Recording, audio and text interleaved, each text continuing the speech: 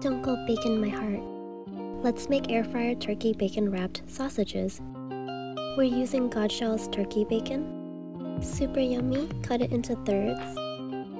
On a plate, add some brown sugar. Now dip your turkey bacon into the brown sugar, making sure to coat both sides. Take a mini sausage and wrap your bacon around it. Soak your toothpicks for 5 minutes and skewer each one. Now air fry at 350 for 10 minutes, flipping halfway. Ta-da!